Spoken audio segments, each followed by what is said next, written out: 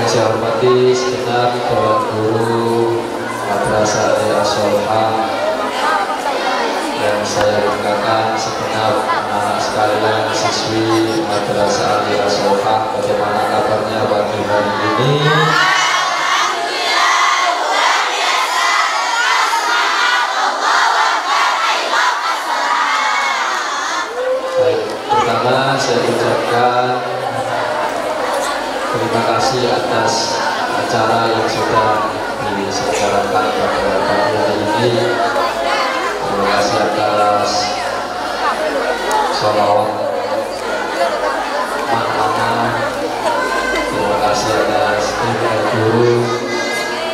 kasih atas hadiah bunga yang sudah diberikan kepada guru.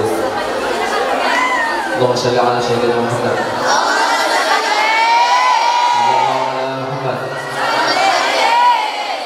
Pertama yang ingin saya sampaikan di peringatan Hari Guru ini bahwa orang yang paling berjasa di dalam hidup kita itu nomor satu adalah Nabi Muhammad SAW. Nomor dua adalah orang tua yang sudah melahirkan kita dan nomor tiga adalah guru-guru maka sudah sangat sewajarnya dan sepantasnya dan seharusnya kita sebagai murid wajib hukumnya menghormati guru guru yang terutama guru yang ada di asal ini kami di sini sudah berusaha semaksimal mungkin untuk wa taala diperhatikan sebentar saja. Tak sampai 10 menit. Tidak sampai 10 menit. Kami di sini sudah berusaha semaksimal mungkin untuk menjadikan murid-murid Asolfa ini satu menjadi orang yang pintar. Kamu sudah guru-guru yang ada di sini ini adalah guru pilihan sesuai dengan bidangnya masing-masing. Di sebagian sekolah yang lain ono SAG ngajar matematika bukan bidangnya. Kemudian jurusan bahasa Arab ngajar olahraga bukan bidangnya. Nah kita ingin maksimal agar ya apa sekiranya sampai menjadi anak yang pinter, gurunya juga harus berkualitas. Makanya nanti kita akan juga mengatakan bahwa guru berkelas, ber berkualitas, ke kreatif, las ikhlas. Biar nanti guru-guru ini semakin berkompetisi menjadi guru yang berkelas nah mulai dari pagi datang sebelum setengah delapan sampai nanti pulang siang itu semata-mata mengajar sampai ya jauh-jauh supaya sampai jadi orang yang pintar nanti. Karena kalau sampai nggak pintar tadi seperti disampaikan Bu Dina sulit bersaing dalam kehidupan. Kecuali kalau sampean sudah tidak punya cita-cita. Cita-cita saya Pak, pokoknya saya lulus saya ingin sekedar bisa maca masak dan mana maka meskipun tidak pinter nggak mau tapi kalau sampai ingin jadi orang yang berguna bermanfaat syaratnya harus pinter dulu.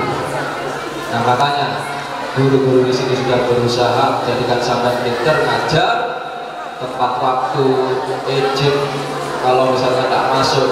Itu semuanya sudah kita disiplinkan semata-mata supaya sampai jadi anak Nah ini tolong ayo disambut dengan baik. Jangan gurunya sudah serius jauh-jauh ono sing teko Wonorejo ono sing teko Grati Kalipan ono sing teko Rejoso. Kawis gue kalau sama ingin tahu bagaimana jaraknya coba oh bedino riwariwi teko warung Jawa nang Rejoso. Belum mas sampai kalau tidak ikhlas gak mungkin. Mereka bayarannya miro sampai bayar SPP selama itu kadang nunggak sampai dengan bulan-bulan selama itu berarti tadi sebulan lebih selawe dino sedina bayar sewu. Sedina bayar sewu. Sampai titip sepeda motor dan penitipan sepeda motor sedina lima ewu kadang sepuluh ewu nah sementara sampai di sini kita kasih kemudahan ayo guru-guru tidak minta bayaran yang tinggi dari sampai tolong dihormati dihargai Ojo sampai anak guru masuk kelas sampai izin keluar misalnya. Gurunya rajin sampai sering izin misalnya. Ini yang pertama. Nah yang kedua bukan hanya sekedar menjadikan sampai pinter. Kalau menjadikan sampai pinter, insya Allah gampang meskipun tidak mudah. Ya, bukan tapi tidak mudah. Tapi yang sulit itu adalah menjadikan sampean sebagai orang yang benar makanya yang kita doakan itu Qurrata ayun waja'alna lilmuttaqina imama. Menjadi anak yang benar, menjadi penghibur, penyejuk mata. Nah, makanya di sini sampai dididik untuk di antaranya taat pada tata tertib. Kadang ada anak melanggar kita panggil, kadang ada anak di medsos tidak pakai jilbab saya panggil. Kadang ada anak pacaran saya panggil. Ngono itu supaya sampai jadi anak yang bener? Ya coba sampai pikir Olah apa soro-soro aku? Mikir no anak ibu anakku dewi tak mikir no wis kuat iya cici mondok saya sing loro malah sekolah. Isuk keterno kok awan keterno sekolah madrasah lo sama guru-guru ini juga sama. Dan yang mikir sama mikir anak ini kadang terus rugi. Lo ini masih menyempatkan meluangkan waktu untuk mikir no sampean didik sampean supaya sampai jadi orang sing makanya setiap pelanggaran kita kasih pembinaan itu semata-mata supaya sampai jadi orang benar karena banyak yang gagal jadi kadang anak itu ada anaknya pinter tapi gak bener. Memang sulit menggabungkan ini. Oh no anak sih bener tapi gak pinter-pinter. Menggabungkan ini repot. Repot. Nah makanya untuk mempersingkat pembicaraan siapa yang harus saya contoh?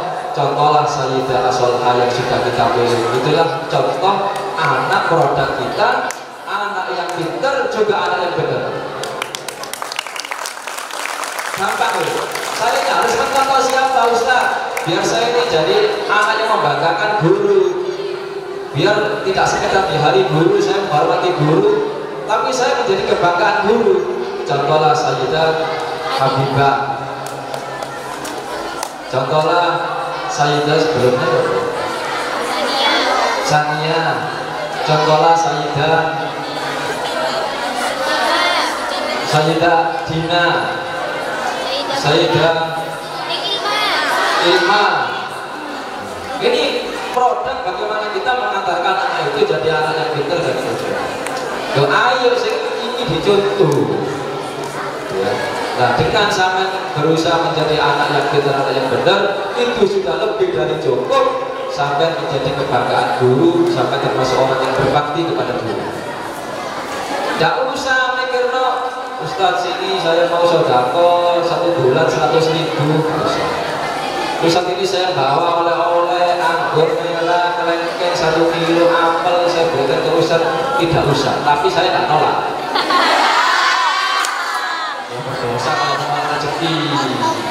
ya berdosa loh teh iso sudah berusaha jadi anak yang pintar yang benar teh iso ada ke dunia pesantren itu teh anaknya sekolah guru waktu itu ketika boleh oleh Rasanya ini kasih diomong no. Ngerti lah dulu. Ada itu begitu. Boleh oleh bunga, beras. Ada kalau misalkan punya rezeki taruh makanan roti di kantor. Gitu. Pak. No, silakan. Oh, gak berusaha jadi anak yang pintar, gak menyambut bagaimana upaya guru dengan sungguh-sungguh. Wong tuane gak tahu moro, moro-moro kalau ada PIP jangan PIP jam 9 jam itu itu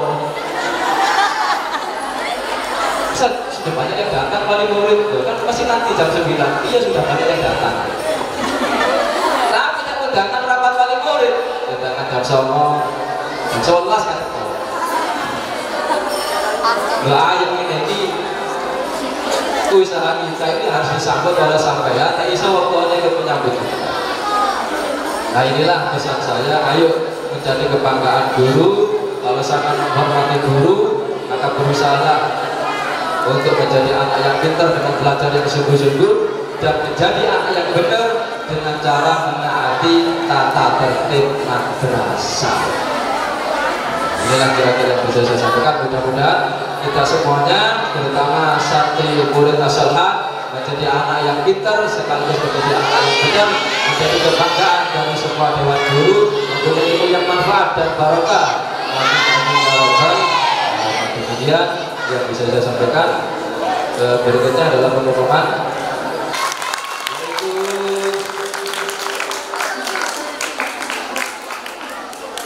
juara lomba puisi berantai juara ketiga adalah diraih oleh kelas 11 Mia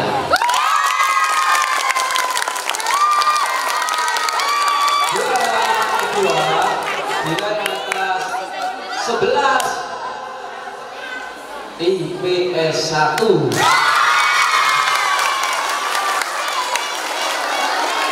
dan juara yang pertama terbaik adalah kelas 10 Mia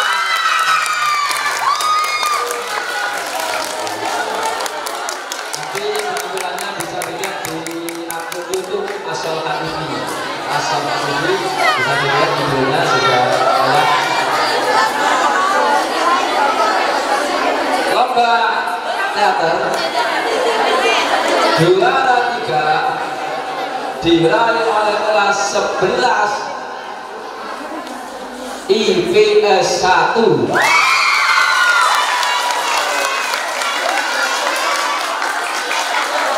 juara kedua diraih oleh kelas 12 Mia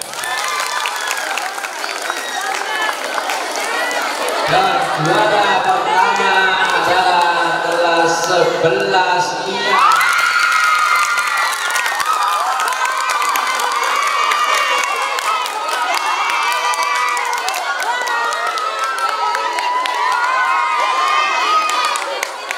Kemudian juara lomba salawat untuk guru Oh, ada satu dua tiga ya? Oh, satu saja ya? Oh iya, iya. Juara pertama dan satu-satunya juara adalah guru dengan rumpun yang kemarin vokalisnya ada oh, vokalisnya vokalis ada cengkok-cengkok ada cengkok khas Pasuruan yaitu rumpun guru rumpun bahasa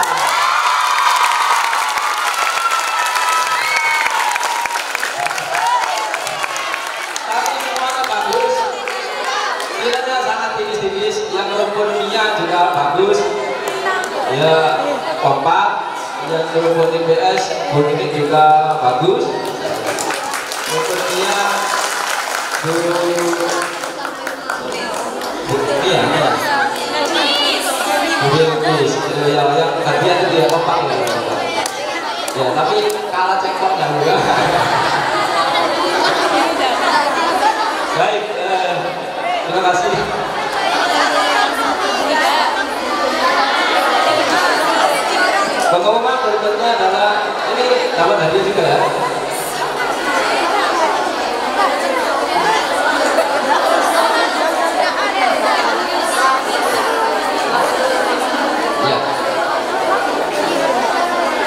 Juara atau lomba paling kelas paling bersih?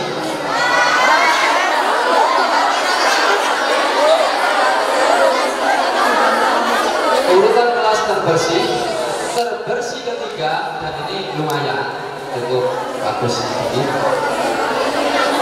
kelas terbersih ketiga bulan November adalah kelas 10 Mia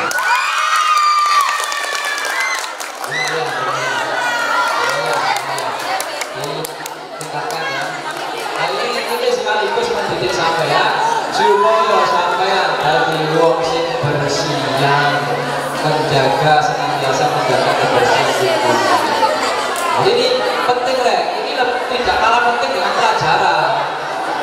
Ini pelajaran hidup.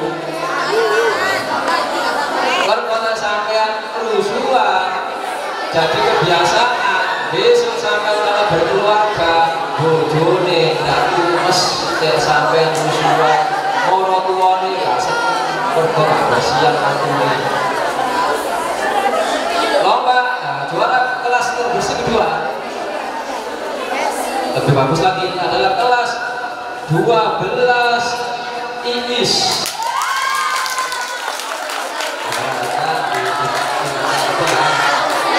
Juara kedua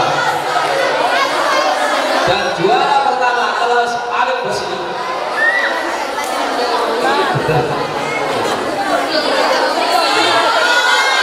kalau ini bukan di kelasnya kadang tempat sampah numpuk Eh, banyak sekali. nah betul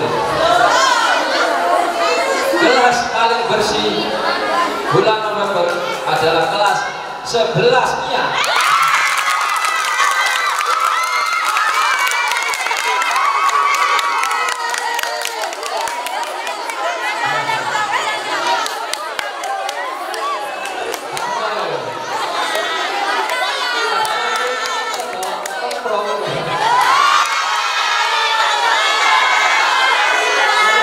sampah-sampah di depan. Itu jangan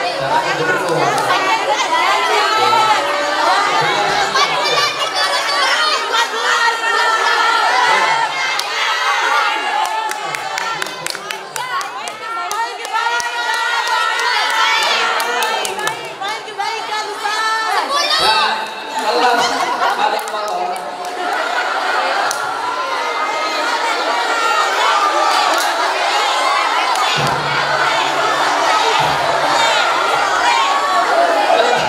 paling kotor di dunia yang mana berturut-turut bulan depan kalau tetap terkotor maka mendapatkan poin pelanggaran. Kelas paling kotor di dunia adalah 12